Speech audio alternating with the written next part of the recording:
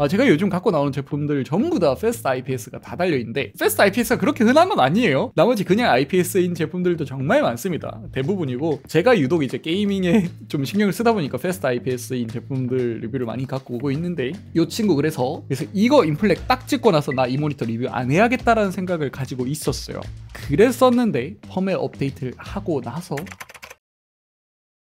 안녕하세요. 난쟁이로 반갑습니다. 눈쟁입니다. 오늘 소개해드릴 제품인 QHD 240Hz 요 모니터인데 저렴한 모니터를 가지고 왔습니다. 요 제품 이름은 에이서의 니트로 XV272UW2라는 제품이고요. 원래 QHD 240Hz라고 하면 제가 예전에 델거 2721D였었나? 그거는 이제 TN 패널이긴 했었는데 그 친구 가격도 뭐 50만원 넘었었죠? 그리고 이 정도 제품에서 메인 가격대 차지하는 제품 들은 거의 100만 원대 정도까지도 제품들이 많이 포진을 해 있거든요. 근데 이 제품 가격이 얼마다? 최저가가 33만 원까지 나왔던 제품입니다. 아 그래서 오늘 이 제품의 장점과 단점을 샅샅들이 여러분들에게 알려드리도록 하겠습니다.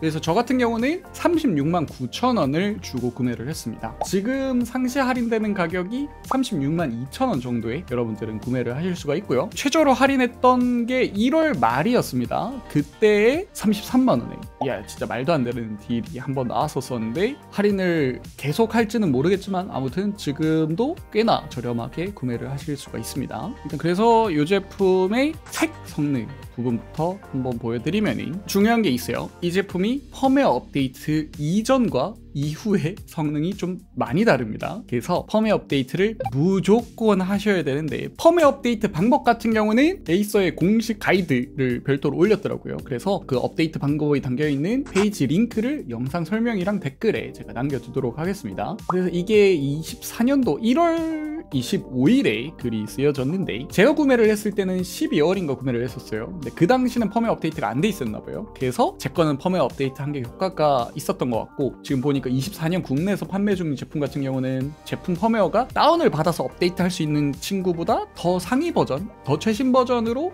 이미 업로드가 돼 있다고 합니다. 펌웨어 업데이트 전에 색을 찍어놨던 거는 제가 찍기만 하고 자료를 안 남겨뒀어요. 그래서 여러분들에게 보여드릴 수가 없는데 좀 차이가 나기 때문에 지금 펌업 후만 그냥 보시면 될 것 같고 세격부터 먼저 보시면은 공식 판매 페이지에서는 sRGB 99%라고만 홍보를 하고 있는데 아니에요. DCI B3 세격을 만족 하는 97.5%를 만족을 합니다. 그리고 찍힌 걸 보시면은 그 DCI P3 세격보다도 조금 더 넓은 세격을 만족하는 걸 보실 수가 있어요. 약간 옐로 쪽이 살짝 좀 틀려 있는데 점들이 좀 정확해 보이지 않는 거는 제가 이제 별도로 보정을 조금 한 뒤에 세격을 찍었을 때는 97.6%로 계측이 되긴 하는데 아무튼 사실상 DCI P3 세격을 거의 다 만족하는 제품이라고 보시면 될 것 같아요. 그리고 이 친구가 sRGB 관련해서 세격을 바꿀 수 있는 모드를 지원은 합니다. 근데 모드 여러 개를 다 찍어봤는데 바뀌긴 해요. 근데 안 바뀌는 애들도 있습니다. 실제 sRGB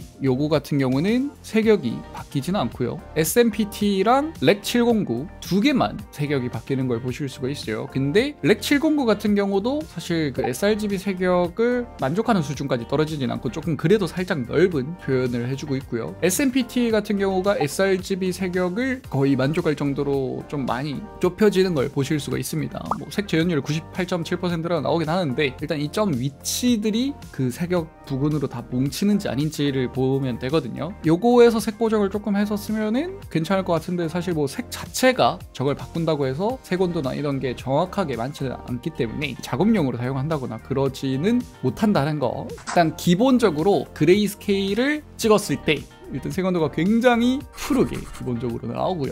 감마 자체가 살짝 뒤틀려 있습니다. 어두운 부분이 더 어둡게 나오고요. 밝은 부분이 더 밝게 나오는 감마 커브를 가지고 있습니다. 그래가지고 이 모니터를 처음 받고 사용하시는 분들이 블랙이 너무 어둡다라는 평가를 하시는 분들이 많은데 이런 부분 때문에 그렇게 보인다고 보시면 될 것 같고 그리고 명암비 자체도 1063대 1 뭐 이 정도면 뭐 적당히 무난하게 나온다고 보시면 되는데 지금 이 정도까지 색온도가 뒤틀려 있으면 기본값 값으로 사용할 일은 없다고 보시면 됩니다. 왜냐면 밝기도 조절을 해야 되고 색 같은 경우도 조절을 해서 사용을 해야겠죠. 여러 가지 옵션들을 했을 때 괜찮게 고정이 됐던 거를 보여드리면은 RGB 값을 50, 45, 35 둔 상태에서 감마는 그대로 2.1을 두고 블랙 이퀄라이저 이 부분을 5가 기본 값으로 돼 있는데 좀 더 높이는 겁니다. 7로 주면은 감마 커브가 어두운 부분이 좀 많이 밝아져요. 근데 사실 밝은 부분도 더 밝아지는 증상이 있긴 하기 때문에 완벽하게 되진 않지만 그래도 어느 정도 어두운 부분이 너무 과하게 어두운 거는 해소가 되는 걸 보실 수가 있습니다. 근데 사실 뭐 그냥 기본 감마 커브 쓰실 분들은 블랙 이퀄라이저만 다시 기본 값인 5로 두고 사용하시면 될 것 같고 색온도 부분이 조금 더 높게 계측되는 걸 보실 수가 있습니다. 근데 사실상 눈으로 보이기에는 막 그렇게 갭 차이가 나는 게 아니고 감마 커브가 조금 바뀜으로 인해서 색온도 찍히는 밸런스 가 살짝 좀 다르게 찍히는 게 아닌가 싶고요. 이렇게 했을 때는 감마가 여전히 뒤틀려 있는 걸 보실 수가 있고 명암비는 1074대 1로 계측이 됩니다. 근데 희한하게 오히려 블랙 이퀄라이저를 높였을 때가 밝기가 더 높게 계측이 됩니다. 지금 이렇게 했을 때는 밝기가 387 칸델라 매 제곱미터로 계측이 되죠. 해봤자 근데 뭐 10 칸델라 정도 차이기 때문에 뭐 엄청난 큰 차이는 아니긴 하지만 그래도 갭 차이가 나긴 한다는 거. 그래서 지금 요거 기준으로 일단은 벤치를 나머지는 전부 진행을 했고요. 색 정확도 부분 결과를 보시면은 평균이 1.68에 최대가 6.18이 나오는 걸 보실 수가 있습니다. 레드 계열이 조금 더 많이 튀는 걸 보실 수가 있는데 사실 색 작업할 정도는 아니지만 그래도 적당히 영상 같은 걸 감상을 했을 때 색이 너무 뒤틀리는 그런 거를 보지는 않아도 될 것 같다라고 보시면 될 것 같고요. 레드 계열이 전반적으로 봤을 때 메인 위치에서 좀 많이 벗어나 있는 걸 보실 수가 있죠. 이 부분은 조금 감안을 하고 쓰시면 될 것 같습니다. 이 상태에서 화면 균일도를 찍었을 때 아 사실 균일도 부분은 크게는 좋지 못한 거를 보실 수 있어요. 특히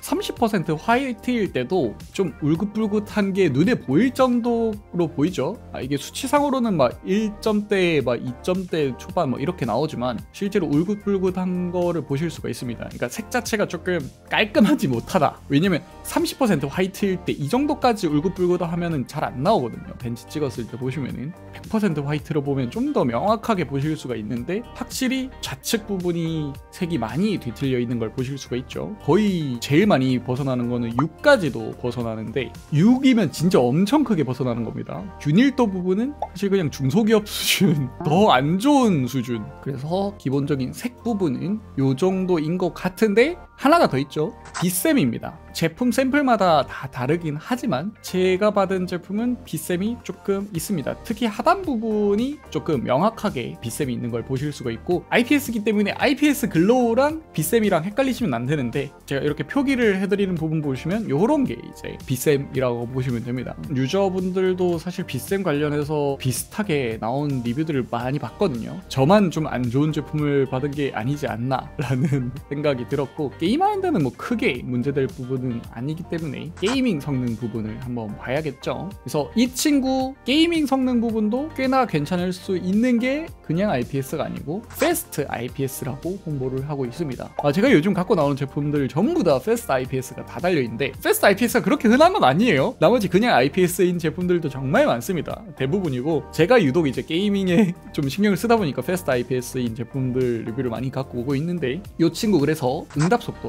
그러니까 잔상이 좋아야겠죠. 그 잔상을 조절하는 오버드라이브 옵션이 총 3단계로 구성이 되어 있는데 끄기랑 제일 높은 옵션 두 개는 사용을 아예 안 한다고 보시면 되고 기본적으로 보통 옵션만 사용을 하시게 될 텐데 요 보통 옵션에서 응답 속도 찍은 걸 한번 보시면 평균치가 3.7ms가 나오고요. 최대치가 11.3ms가 나옵니다. 이전에 뭐 쿠루이라든지 다른 MSI 그런 모니터 찍었을 때랑 비슷한 양상을 보이는데 어느 정도 우측 상단 같은 경우는 전체적으로 낮은 모습을 보실 수가 있고 그냥 하단 부분은 그래도 오버드라이버가 꽤나 잘 들어가지고 잔상이 거의 3ms 내로 다 만족을 하는데 좌측 하단 부분이 이제 조금 많이 늘어진 걸 보실 수가 있습니다. 좌측 하단이 밝은 데서 어두운 데로 가는 부분이기 때문에 이쪽 수치가 높으면은 섬광을 맞고 다시 화면이 보일 때의 시간이 조금 더 길어질 수 있다라고 보시면 됩니다. 응답 속도만 최대치가 좌하단이 늘어지는 게 아니고 오버슛도 조금 과하게 들어간 부분 부분이 있습니다.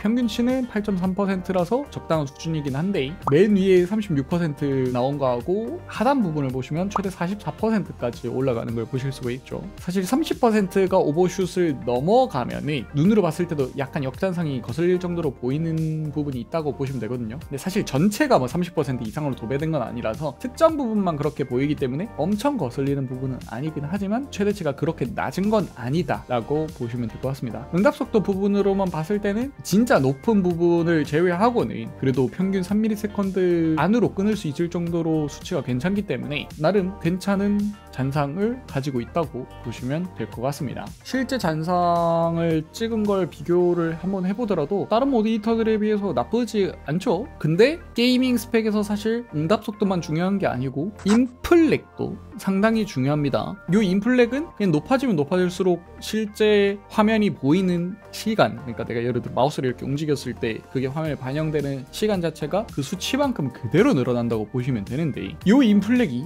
펌웨어 업데이트 전이 7.4ms였습니다. 그래서 이거 input lag 딱 찍고 나서 나 이 모니터 리뷰 안 해야겠다라는 생각을 가지고 있었어요. 그랬었는데 펌웨어 업데이트를 하고 나서 혹시나 하고 찍어봤는데 input lag이 1.7ms로 굉장히 줄은 걸 보실 수가 있습니다. 1.7ms면 input lag으로는 뭐 전혀 신경 쓸 필요가 없는 수준이라고 보시면 되고요. 사실 gaming 성능만 봤을 때는 그냥 흔한 fast IPS의 딱 gaming 성능 정도 나온다고 보시면 될 것 같고 사실상 이게 gaming이라고 하기에는 어차피 gaming 친구들은 대부분 FHD 요런데 나오는 친구들이기 때문에 그런 거랑 비교하면 당연히 주사율 자체가 낮기 때문에 조금 더 스펙이 딸리게 보일 순 있지만 QHD 240 스펙을 가지고 있으면서 이런 친구인 거면은 사실 좋다고 보시면 될 것 같아요. 그래서 기본적인 모니터 자체 성능만 봤을 때는 이 친구가 가성비가 사실 말이 안 됩니다.